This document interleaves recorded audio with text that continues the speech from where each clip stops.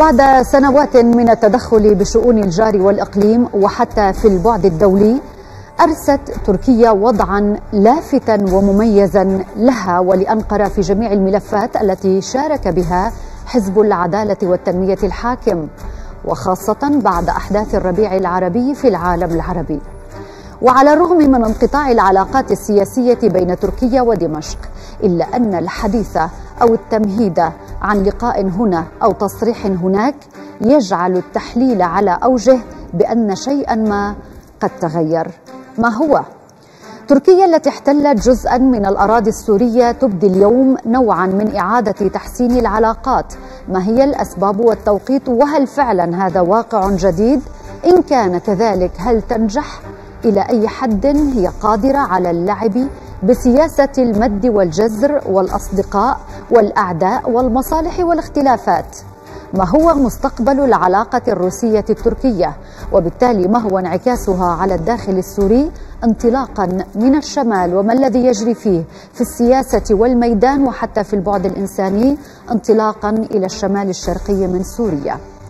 هذا هو عنوان حلقتي لهذا اليوم من برنامج نبض الشرق والذي أستضيف من خلاله الباحث في الشأن السياسي والعسكري كمال الجفا. مساء الخير. وسهلا. مساء الخير. ومعي عبر خدمة سكايب من موسكو دكتور فايز حوالة الخبير بالشأن الروسي. أهلا وسهلا بك. وأيضا من أنقرة دكتور دانيال عبد الفتاح المتخصص بالشأن التركي. مشاهدينا الكرام مساء الخير. أبدأ الحوار مع ضيوفي بعد الفاصل.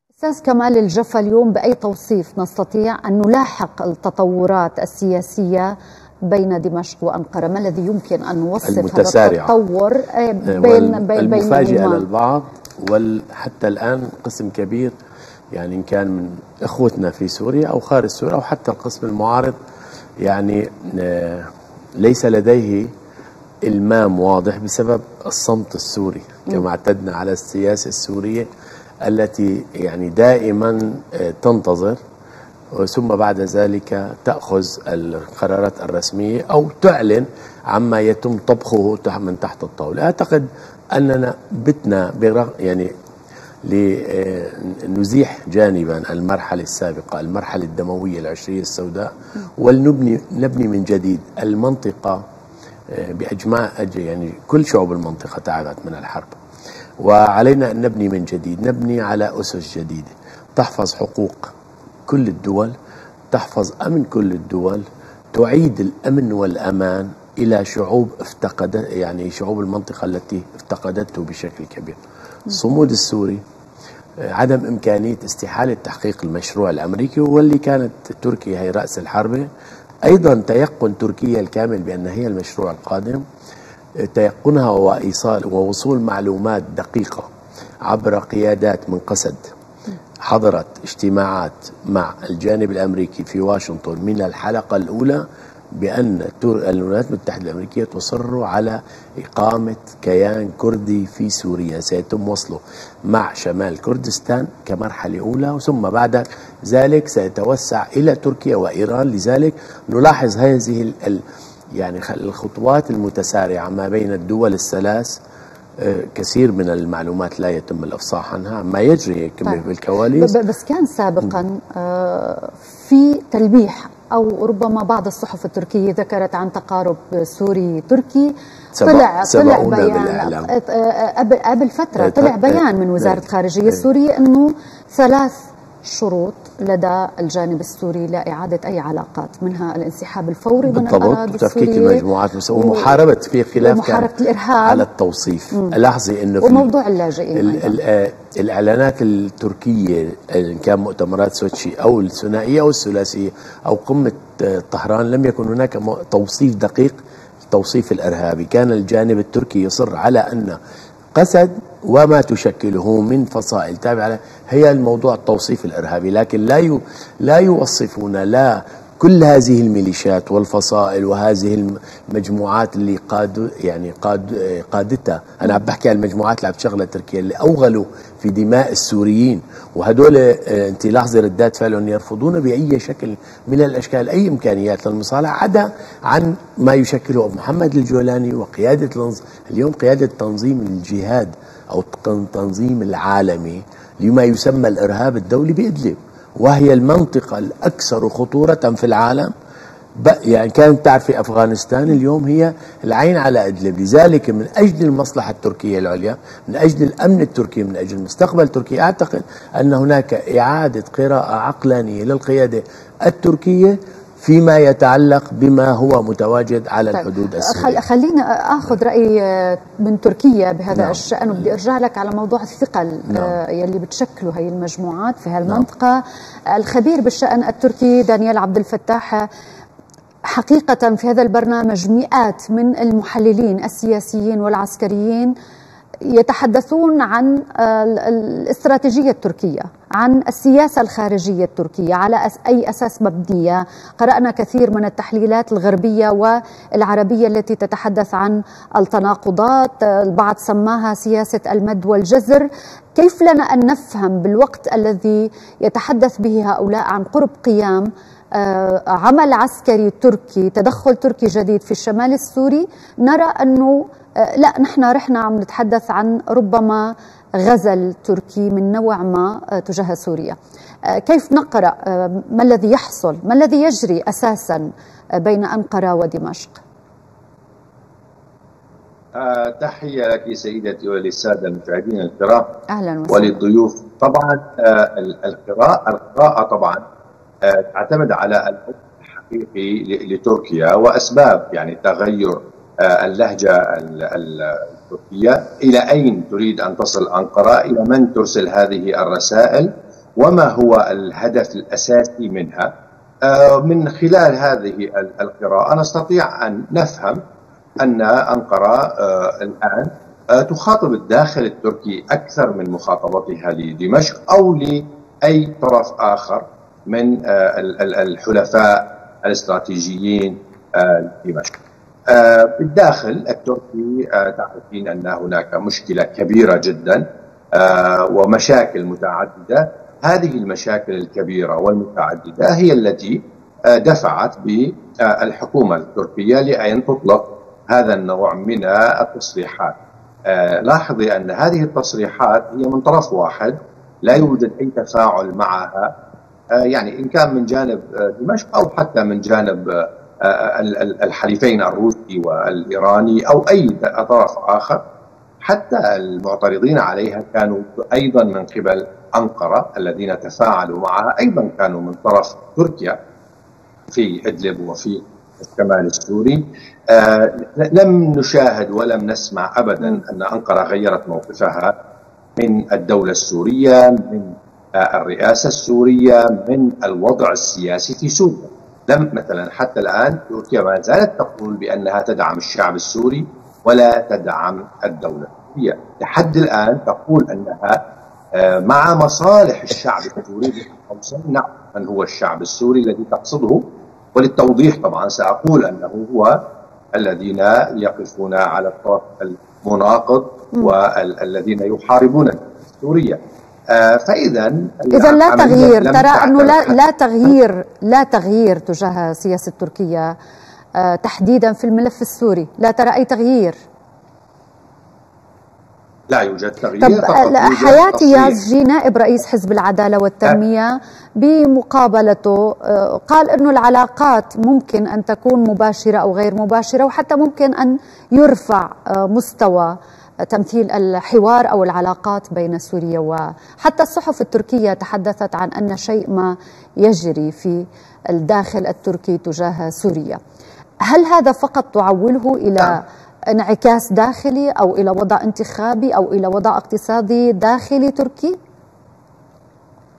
نعم فقط داخلي تركي آه، آه، يعني أيضا حتى الرئيس أردوغان يعني قال بأنه آه، لا يمكن استبعاد الحل السياسي أو الحوار السياسي والدبلوماسي آه، يعني الحليف الاستراتيجي والحليف بالحكومة لأردوغان زعيم حزب آه، زعيم حزب الحركة القومية. أيضا دولة بهجلي قال بأنه يجب أن نرفع هذا كله كلام سياسي سياسي إعلامي موجه للداخل آه، محاولة لسحب هذا البساط وهذا الملف السوري والملف السوري من أيدي المعارضة محاولة لإقناع الناخب التركي ومحاولة لإقناع أيضا جماهير حزب العدالة والتنمية بأن أنقرة تسعى وأنها تقدم المبادرات أنها تغير من حديثها أنها تريد أن تحل المشكلة. أيضا هذا حديث إلى كافة الشعب التركي يعني المعارض أيضا لسياسات حزب العدالة والتنمية. حديث له وقع وله أهمية.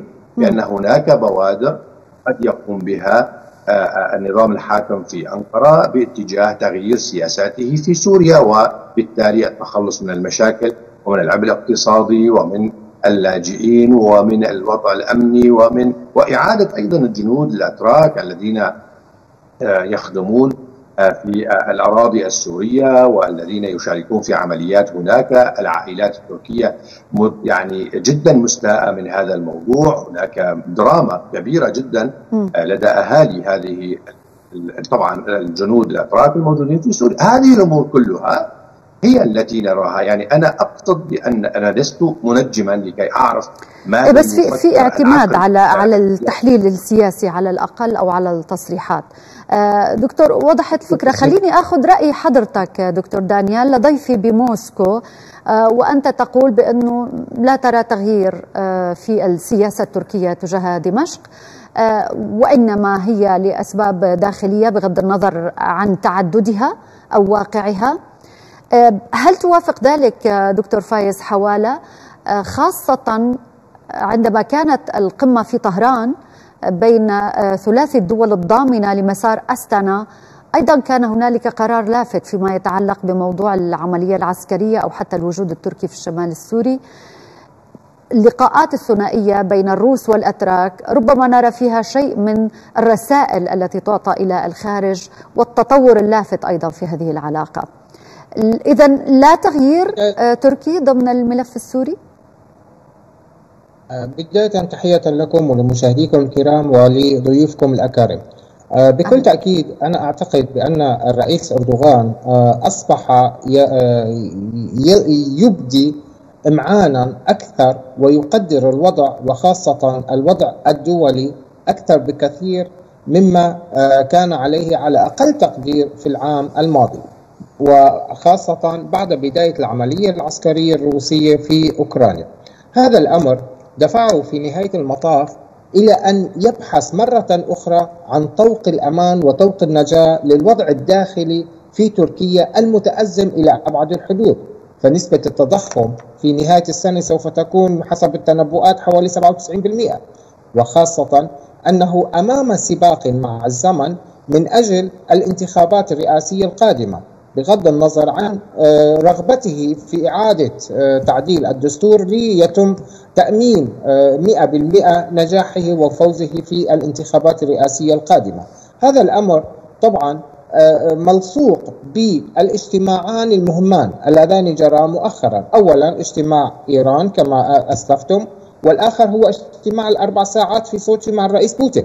والذي أعتقد بأن هذه التصريحات التي تصدر عن تركيا ما هي إلا نتاجا مباشرا لما تم التوصل إليه من خلال هذه الأربع ساعات المغلقة بين الرئيسين بوتين والرئيس أردوغان. بكل الأحوال أنا لا أؤمن بأردوغان لأنه معروف بأنه يخضع وصاحب الطعنات في الظهر ولكن ربما ينطلق من مبدأ الأمر الواقع. لا لا لكن البعض يرى أن العلاقة التركية الروسية هي علاقة نديه يعني لا طرف أقوى من طرف. روسيا بحاجة تركيا في هذه الأثناء. وسط بعد الحرب وبعد الوضع الاقتصادي تريد منفذ لها. كون تركيا ليست شريك في هذه العقوبات وبنفس الوقت تركيا أيضا لها مصالح لدى موسكو. العلاقة ندية لا يوجد أنه روسيا أحدثت خرق أو ذلك استنادا إلى الأربع ساعات التي جلسها أردوغان مع بوتين. ربما البعض يرى الأمور لا مختلفة هي آه، تبادل مصالح ولكن تركيا بحاجة أكثر إلى الطاقة الروسية والإيرانية أيضا. يعني تصوروا اليوم سعر الغاز في أوروبا تجاوز 3000 دولار بينما تركيا تأخذه عبر السيل التركي من روسيا الاتحادية بمبلغ لا يتجاوز 400 دولار تصوروا لو أن هناك في تركيا اليوم السعر 3000 دولار هل يبقى أردوغان وحكومته وحزبه حزب العدالة والتنمية في تركيا؟ أنا لا أعتقد على الإطلاق لذلك فحاجة آه، تركيا إلى روسيا هي أكبر بكثير من حاجة آه، روسيا إلى تركيا. ولكن نعم أنا أتفق معكم بأن هناك حاجات متبادلة ما بين روسيا وتركيا آه، من أجل التصدي لعالم القطب الواحد. يعني اليوم نعم أنتم ذكرتم وهذا صحيح بأن تركيا استثنت روسيا من العقوبات التي تم فرضها وفرضتها أوروبا والولايات المتحدة الأمريكية على روسيا الاتحادية ولكن هل هذا في مصلحة روسيا فقط؟ لا على الإطلاق هي في مصلحة تركيا بالدرجة الأولى طيب. انظروا مثلا على سبيل المثال م. الاتفاق الموقع أخيرا مؤخرا في إسطنبول لتصدير الحبوب والقمح من أوكرانيا عبر تركيا من المستفيد في نهاية المطاف؟ هل روسيا هي المستفيدة؟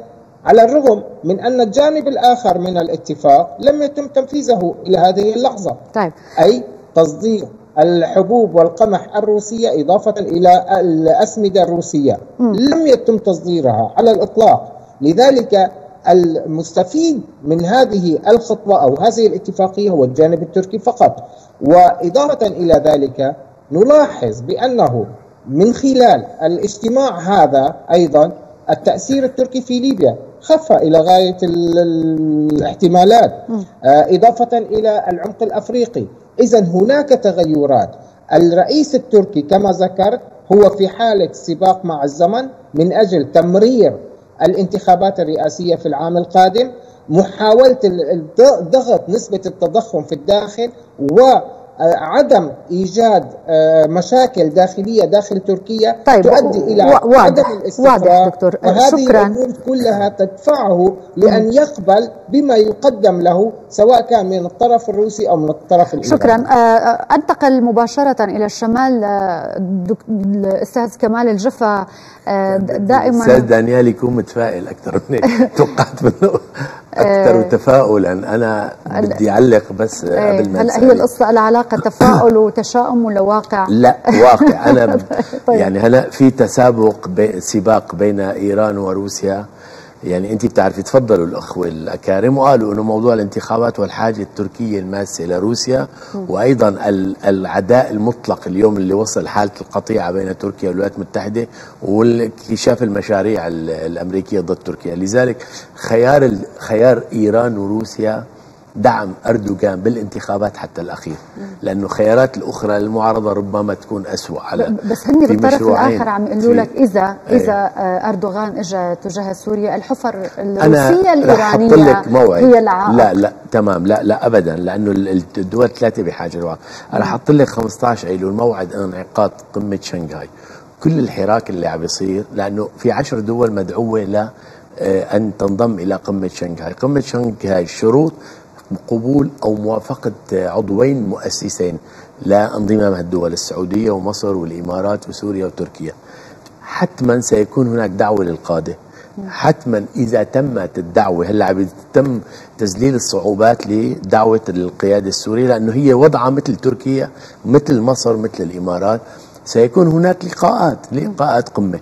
ما ممكن تتم هاللقاءات القمة إلا بتكسير الجليد اللي موجود في العلاقات السورية التركية أو ربما ساعات أنا أنا بحكي تحليل وليس معلومة يكون في هناك يعني خليني اعتراضات حتى الآن ما في. بتعرفي أنت موضوع دول الخليج مقبول الوضع بالنسبة له. حتى السعودية ما بتعارض كذا إذا حضر محمد بن سلمان. الموضوع فقط إنه هالقمه تريدها قمة نجاح وتعول عليها كثيرا روسيا سيما هناك صراع بين مشروعين.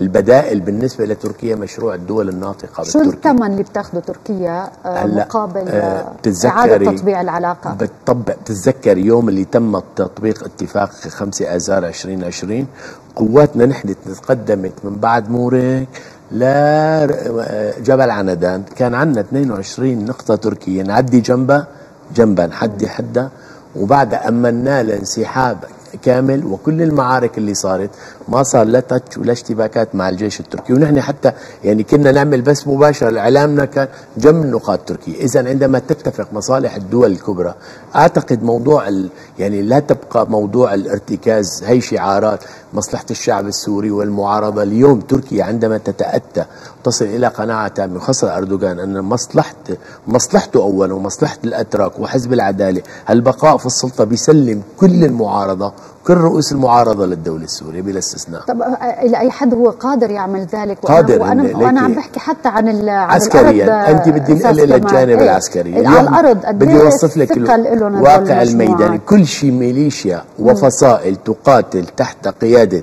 ما يسمى الجيش الوطني. هن مجموعات أمراء حرب قطاعين طرق يعني شو بختار لك أنت؟ غير قادرين. أنت اسحبي تركيا عن حمايتهم حتى قسد مقابل قسد ما قادرين يقاتلوا وعلى الإطلاق.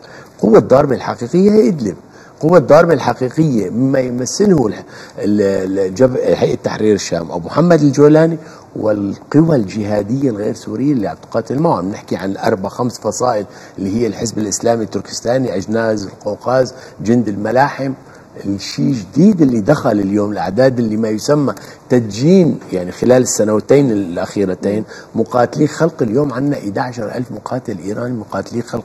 وين ذهبت منظمة خلق؟ اللي كانت ماركسيه اليوم صارت تحت قيادة ما يسمى قيادة هيئة تحرير الشام. يعني بتعرفي اتجاهاتهم انت. طيب. هدول الثقل يلي بشكل هدي الشيء أبو محمد كيف؟ الجولاني. لأنه أبو محمد حتى تركيا عندما يكون هناك قرار يعني ببدء معركة أو تطبيق الإنفور لا تقاتل تركيا. إيه، بس هل يقبلوا بذلك؟ يعني اليوم نحن عم نسمع حتى ما حدا صاحب إنه هي حتى المجموعات التركية الجيش الوطني؟ لا لا اللي عم تحكي تمام عنها. تمام. آه بعض منا اليوم بدأ يتوجه نحو بعض الأقليات صحيح. القرى ما حدا عم تحكي بجبل السماق. والمجازر اللي عم بيقوم كفر كفر كلا, كلا إيه وقلب لوزه ويعني خلينا الضغوطات اللي عم بيتعرضوا لها والتضييق على إخوتنا الموحدين الدروز في 19 قرية بريف إدلب اللي هي تسمى جبل السماق في شغلة. الجولاني صار له سنتين عم ينسق مع الإدارة الأمريكية. وطلب منه تغيير الواجهة الجهادية لشكله ولبس بتعرف من يوم اللي لبسوه الجنز وهيدا الماركة يعني القمصان اللي جابوا له إياها. مارتن سميث وقت بتذكر جاب له إياها. في في تغيير باستراتيجية الجولاني وفي تخفيف الشكل الجهادي والأعلام السوداء. عمليه التغيير تدريجيا هي تخفيف القبضة الأمنية وهي الانفتاح على الأقليات. من فترة من شي شهر أو أكثر زار آه، بتعرفي أنت الغسانية ومحيط ريف جسر الشغوري متواجد فيه نحن أخوتنا المسيحيين والأرمان احتلتهم.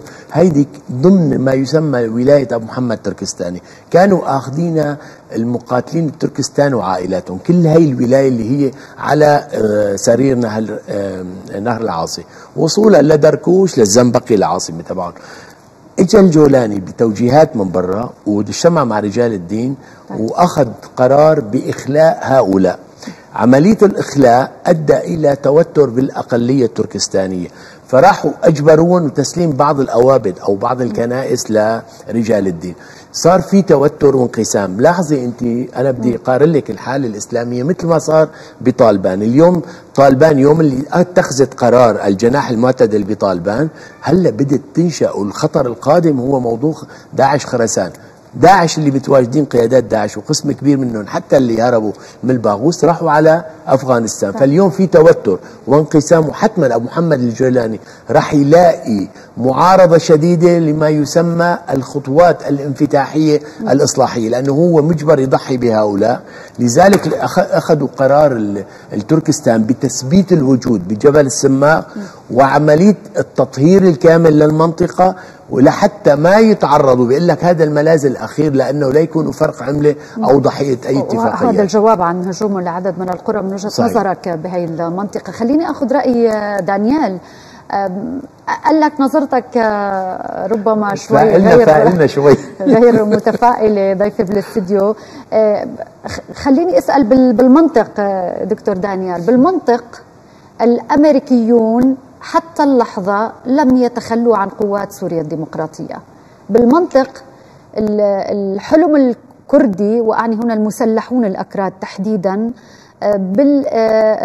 بالمنطق ما زال لديهم هذا الحلم. من مصلحة الرئيس أردوغان أن يكون هنالك شرخ بين القيادة في سوريا وبين قسد لأنه هو من وجهة نظره أنهم يشكلون إرهابا وخطرا على أمن تركيا الوطني يعني أنا أحلل قريبا من بعض المؤشرات اللي ممكن تقول أنه إيه أردوغان من مصلحته أن يحدث شرخا بين قسد ودمشق آه، للدخول أكثر تقاربا مع سوريا. منطق هذا الكلام؟ يعني دائما أنا من المؤيدين للفكرة التي تقول بأن آه، قسد أو ما تمثله قسد من حزب العمال الكردستاني حزب العمال الكردستاني هو حزب تركي قياداته تركية وهو متهم في تركيا من قبل الكثيرين الكثيرين جدا بأنه آه، هو من صنع المخابرات التركية، هذه النقطة موجودة في تركيا وبقوة كبيرة جدا.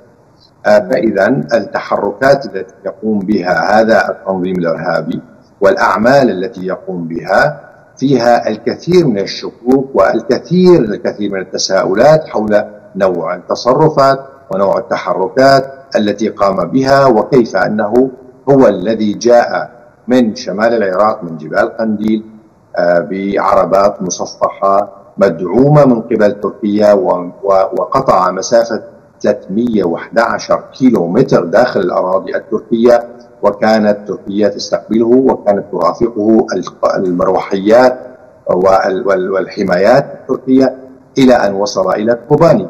يعني يجب أن نتذكر كيف دخلوا إلى كوباني لتحريرها من آه، داعش دخلوا عبر الأراضي التركية ومن شمال العراق وإلى الوصول إلى حدود كوباني والدخول إلى هناك بمرافقة طبعا الجيش التركي وكانوا يرشون الرز آه، على آه، رؤوس هؤلاء المسلحين.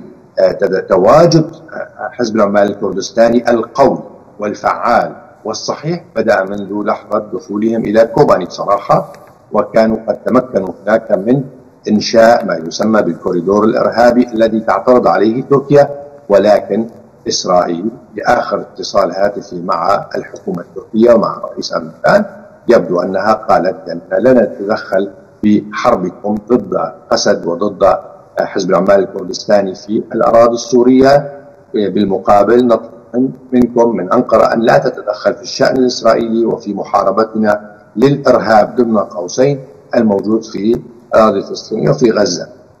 آه يعني أنا أتمنى بكل بكل صراحة وبكل صدق أن يكون هناك فعلا آه نوع من المرونة أو التغير في ال ال السياسة التركية الابتعاد عن السياسات الناتو وتنفيذها في المنطقة الابتعاد عن الضغط الإسرائيلي والأمريكي والدخول في آه، حقيقة المصلحة التركية. كما تفضل الدكتور الجفا كان صحيحا تماما وأنا أؤيده بكل معنى الكلمة أن هناك ضرورة للأمن القومي التركي ضمن قوسين إذا كان هذا الأمن القومي التركي فعلا مهددا.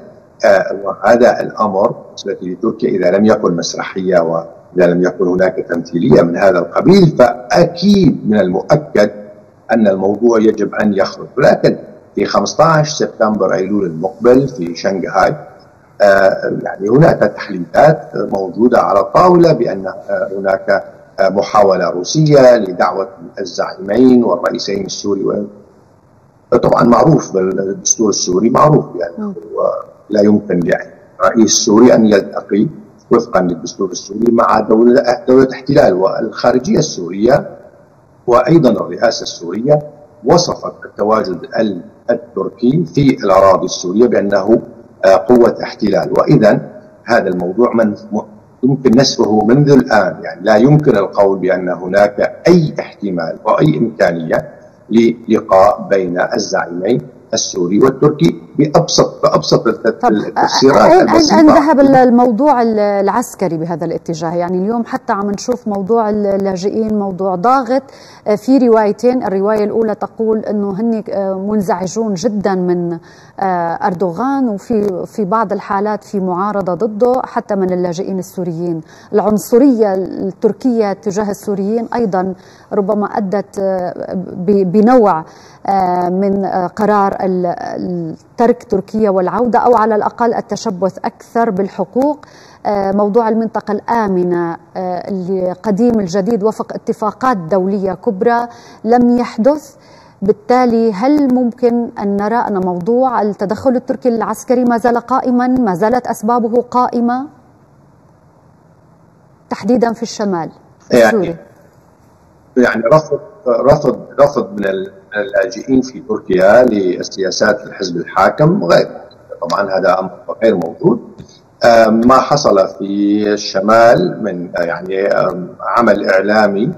كذلك يعني يعني موضوع حرق العلم والرفض أيضا هو تحرك معروف أيضا اعلاميا مفهوم تماما بأنه هو رغبه من انقره بأن تقول أنها تريد أن تحل هذه المشكلة ولكن الشعب السوري هو الذي يرفض آه، قيادته وهو الذي أيضا لا يعترف آه، بدمشق وكما هي تركيا قالت بأنها أيضا هي لا تعترف بوجود دمشق. يعني آه، أرجو أن يتم يعني قراءة الأمر بالطريقة الصحيحة تماما حتى لا نخرج ولا نذهب إلى تفاؤل أو إلى تشاؤم. ما الذي يعنيه ذلك باختصار دانيال؟ لم تنتهي مخاوف البعد العسكري في الشمال السوري؟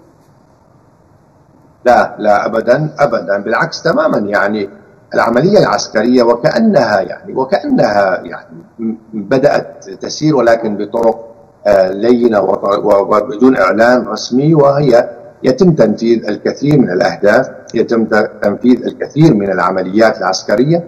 آه، الجانب مثلا في حزب العمال الكردستاني الجانب الذي فعلا هو كردي يرفض التواجد التركي بشكل حقيقي وليس من الطرف الآخر الناس الوطنيين الأكراد يتم استهدافهم قامت عمليات المخابرات الإم آي تي التركيه باستهداف آه، تسعة من القيادات هي الرافضة تماما للدخول نعم. العسكري والتواجد العسكري شمال سوريا. لذلك عمليا عمليا الأعمال العسكرية آه، هي يعني يتم يتم تنفيذها ولكن ب آه، يعني بطريقة مخففة جدا.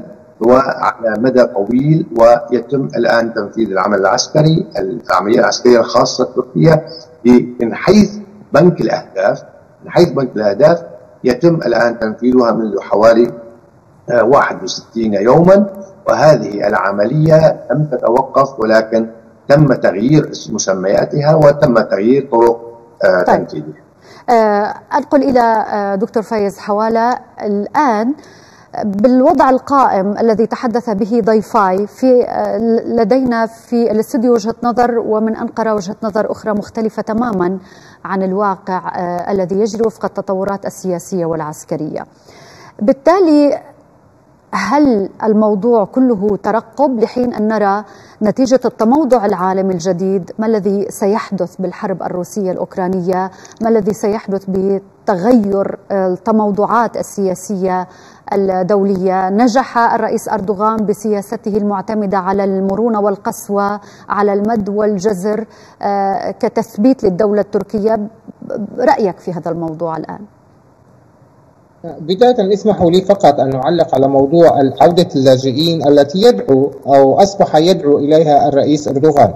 طبعا ورقة اللاجئين أصبحت بالنسبة لأردوغان ورقة خاسرة. لذلك يحاول التخلص والتملص منها. بمعنى آخر أنه لا يستطيع الآن في هذه الظروف المحيطة بأوروبا من آه، عدم الاستقرار والاضطرابات الداخلية وارتفاع الأسعار أن يدفع بالمزيد من اللاجئين ليتجهوا باتجاه أوروبا. هذا من ناحية. ومن ناحية أخرى لا أحد في أوروبا يرد عليه ويعطيه معونات مادية من أجل إبقاء هؤلاء اللاجئين. وبالتالي التخلص منهم من أجل استقطاب الداخل التركي الذي أصبح يمتعض من تواجد اللاجئين السوريين أصبح يتاجر بها ولكن في جهة سورية تحت شعار عودتهم إلى أراضيهم. هذا فقط للتوضيح من ناحية اللاجئين. أما من ناحية ما يدعي الرئيس التركي رجب طيب أردوغان بموضوع الأمن القومي وكما قال الدكتور دانييل بأن من حقه أن يدافع عن أمنه القومي نعم أوافقكم الرأي ولكن يجب علينا أن لا ننسى أن الأمن القومي لدولة لا يمكن أن يكون على الإطلاق على حساب باقي الدول الأخرى وخاصة إذا كانت هذه الدول هي دولة مجاورة كسوريا على سبيل المثال. فكيف يضمن ضمانة الأمن القومي لأي دولة هي ضمانة متكاملة ما بين جميع الجهات وخاصة الجهات المتاخمة والواقعة على الحدود مباشرة. فمثلا بين تركيا وسوريا آه، حدود برية تقارب 952 كيلومتر. هل يستطيع الجيش التركي أن يحميها أو يسيطر عليها؟ بالتأكيد لا. وكذلك الوضع بالنسبة للجيش السوري أو الدولة السورية. لذلك لا بد أن يكون هناك مفهوما موحدا للأمن القومي السوري والتركي. وهذا الأمر طبعا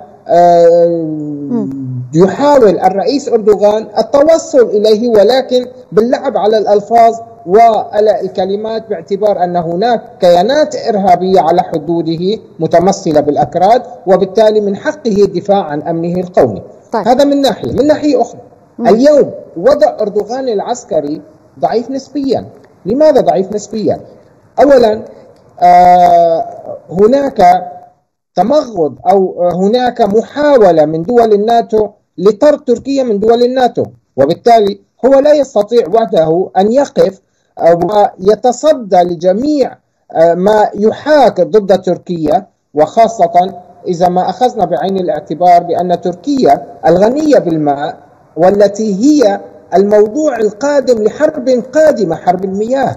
اليوم إذا كنا نحن نعيش عصر حرب الطاقة الحرب القادمة هي حرب المياه. وبالتالي هو يحاول أن يجد له منفذا أو سندا كما الناتو. ولكن طيب. الناتو اليوم يحاول التخلص منه. لماذا؟ لأن آه، وإن كانت تركيا هي ثاني أكبر داعم للناتو وخاصة من الناحية البشرية ولكن من الناحية العسكرية أصبحت لا شيء. في الحقيقة رغم أن لديها صناعات حربية وعسكرية متقدمة ومتطورة وخاصة ما يفتخر به بصناعة البيرقدار ولكن أصبحت خردة في حقيقة الأمر وهذا ما كشفت عنه العملية العسكرية الروسية الخاصة في أوكرانيا أن إسقاط طائرة البيرقدار فخر الصناعة التركية التي حاول تسويقها في دول عدة في العالم أصبحت لا أحد يطالب بها لأن هناك معامل أخرى على سبيل المثال الإيرانية تفوقت عليها بمراحل متقدمة. طيب إذا هناك اليوم أردوغان أمام خياران.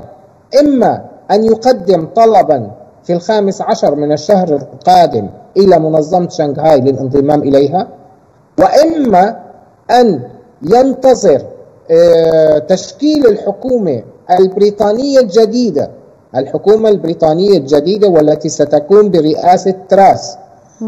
والتي دعا قبل ذلك آه، رئيس الوزراء جونسون إلى تشكيل تحالف عسكري جديد يضم دول البلطيق الثلاث أوكرانيا وتركيا وبريطانيا. وهذا الأمر هو للتصدي ليس لروسيا فقط وإنما لحلف الناتو أيضا. لذلك اليوم هو أمام خيار وحيد. م. هذا الخيار الوحيد هو الذهاب إلى شنغهاي لأن طيب. نعم. الثانية الثانية هي في الخامس من الشهر القادم. طيب. ومنظم شنغهاي اجتماعها في الخامس عشر. لذلك عليه الذهاب لهناك ويقدم شكرا دكتور سعيد نعم في منظمة شنغهاي. آه، دكتور كمال رؤية لما سمعناه من ضيفي ومعلومات بدي أعلق كلامه مضبوط عملية ال ال ال الاجتياح العسكري. استبدل بعملية الملاحقة والمتابعة والتحطيم والاغتيال لقادة قسد. بالخطوط الأولى. اليوم أصبحوا مراقبين وخسروا حوالي 72 مثل ما قال ضيف الكريم من أنقرة 72 من من خيرة المقاتلين أو من القيادات. الخيار الوحيد اليوم بالنسبة لتركيا هي خيار الانضمام لشنغهاي. أرسل طلب لتركيا سيتم الموافقة عليه خلال القمة في دور روسي بدعم هذا دور, دور روسي صيني. موافقة في موافقة على قبول تركيا لأنه الخيار الآخر اتجاه مثل ما تفضل ضيفنا من موسكو أخونا قال إنه الاتجاه لمحور آخر. ان عند أنا قلت لك موضوع الدول الناطقة تحالف بالتركي وهذا خطر على كل هي دول جنوب شرق آسيا وبتوصل لأفغانستان قرغيزستان وتركمانستان وأوزبكستان هذا كله تعتبر تركيا والرئيس التركي هي خليني أقول لك الأمة العثمانية اللي قال في له تصريحات إنه عددهم 400 مليون نسمة وليس 85 مليون هن عدد سكان تركيا. لذلك الخيارات الأفضل والداعمه واقتصاديا وإعادة تشبيك والتهدئة بالمنطقة هي خيارات التنسيق مع إيران وروسيا وتخفيف التوتر تدريجي وحل المشكلة السورية. أه، اليوم الأمريكيين بيتخلوا عن قسد بهذا الاتجاه. وين العلاقة اللي بتحب؟ أنا بدي أقول لك وعلاقة قسد مع صحيح القسد وليش موجود الاحتلال الأمريكي إجا؟ ليش إجا بالأساس لسوريا؟ وعمل ما يسمى يعني بروباغندا التحالف الدولي لمحاربة داعش هي اللي فصل بين سوريا والعراق. بعد ال... خليني أقول لك بدء آه، توضح معالم انهيار داعش ومنع التواصل وكل الضربات العسكرية اللي كانت تقوم فيها الولايات المتحدة الأمريكية ضد سوريا قواتها وقوات صديقة للتحالف اللي قاتلوا معنا ولفصل الحدود العراقية السورية، اليوم فيما لو تم توقيع الاتفاق النووي ونحن ماشيين بمراحل أخيرة أعتقد ينتفي الوجود الأمريكي في سوريا. أشكرك جزيل الشكر الباحث في الشأن السياسي والعسكري الدكتور كمال الجفا شكرا جزيلا. اسمح لي أن أشكر ضيفي من موسكو دكتور فايز حوالة المتخصص بالشأن الروسي وضيفي من أنقرة الدكتور دانيال عبد الفتاح المتخصص بالشأن التركي. شكرا لكم. مشاهدينا الكرام أختم بهذا التقرير لوسام حبيب وألقاكم الاثنين القادم.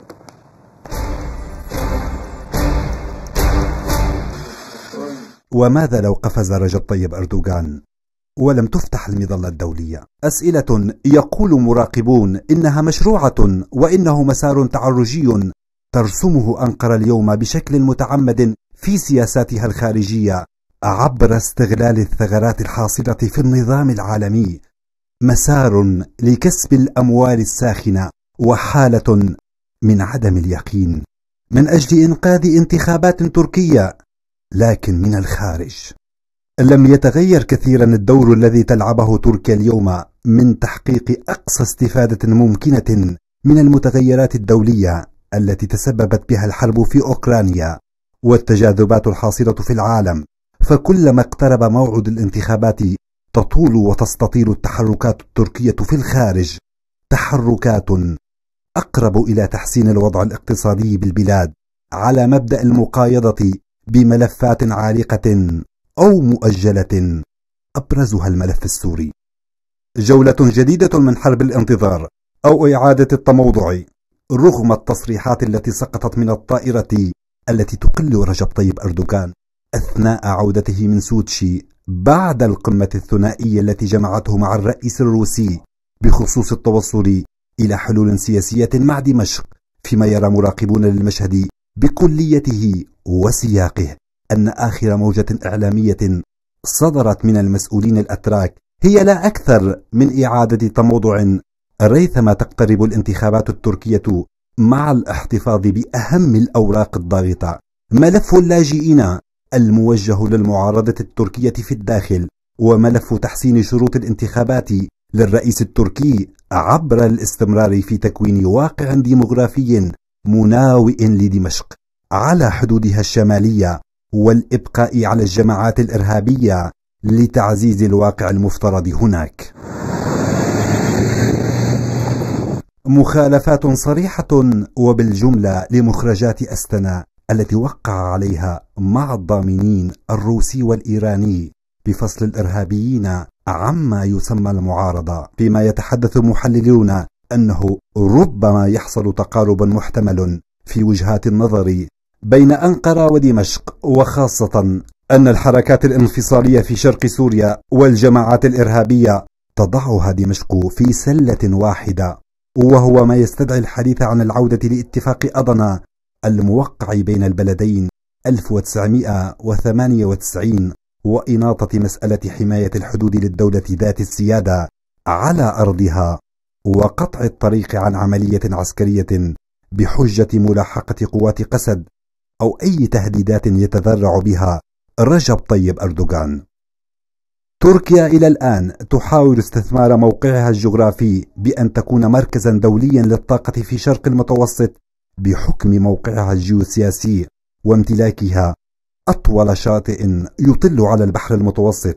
الأمر الذي سينقذ الاقتصاد التركي ويعزز مكانة الحزب الحاكم الداخلية. وتسعى تركيا لتكون ممرا للغاز الإسرائيلي المسروق للتصدير نحو أوروبا. وهو ما صرح به أكثر من مرة الرئيس أردوغان ووزير خارجيته جاويش أوغلو. وما أكده إعادة تفعيل السفراء بين أنقرة وإسرائيل ليقرأ المشهد من جديد.